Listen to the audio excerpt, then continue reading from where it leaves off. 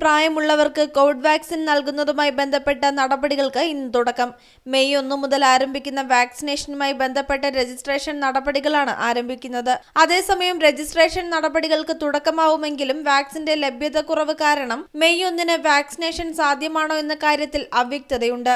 ജാർഖണ്ഡ് പഞ്ചാബ് ഛത്തീസ്ഗഡ് രാജസ്ഥാൻ തുടങ്ങിയ സംസ്ഥാനങ്ങൾ വാക്സിന്റെ ലഭ്യത കുറവ് കൊണ്ട് മെയ് ഒന്നിന് വാക്സിനേഷൻ ആരംഭിക്കാനാകില്ലെന്ന നിലപാടിലാണ്. കൂടാതെ കേരളം ആന്ധ്രാപ്രദേശ് ബംഗാൾ തമിഴ്നാട് തുടങ്ങിയ സംസ്ഥാനങ്ങളിൽ കൂടുതൽ വാക്സിൻ കിട്ടിയില്ലെങ്കിൽ ദൗത്യം തടസ്സപ്പെടും.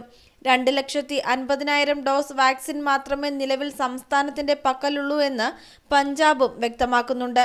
ഇതിൽ തൊണ്ണൂറായിരം എണ്ണം നാൽപ്പത്തഞ്ച് വയസ്സിന് മുകളിൽ പ്രായമുള്ളവർക്ക് രണ്ടാം ഘട്ട വാക്സിൻ നൽകാൻ പ്രതിദിനം വേണമെന്നതാണ് അവസ്ഥ. അതുകൊണ്ട് തന്നെ രണ്ട് ദിവസത്തെ മാത്രം വാക്സിൻ അവശേഷിക്കുന്നിടത്ത് മറ്റ് നിർദ്ദേശങ്ങൾക്ക് പ്രാധാന്യമില്ലെന്ന് പഞ്ചാബ് വ്യക്തമാക്കി. സമാനമാണ് മറ്റ് സംസ്ഥാനങ്ങളുടെയും നിലപാട്. ഇക്കാര്യത്തിൽ സംസ്ഥാനങ്ങൾ ചെലുത്തുന്ന സമ്മർദ്ദത്തെ എങ്ങനെ മറികടക്കാമെന്ന ആലോചന കേന്ദ്ര സർക്കാരും വിവിധ തലങ്ങളിൽ ആരംഭിച്ചു. സംസ്ഥാനങ്ങൾക്ക് വാക്സിൻ ലഭ്യത ഉറപ്പാക്കാനുള്ള കേന്ദ്രീകൃത സംവിധാനം അടക്കമാണ് ഇന്നു മുതൽ ആരംഭിക്കുന്നത്.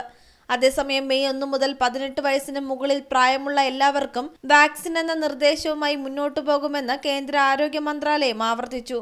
News desk Namaste news.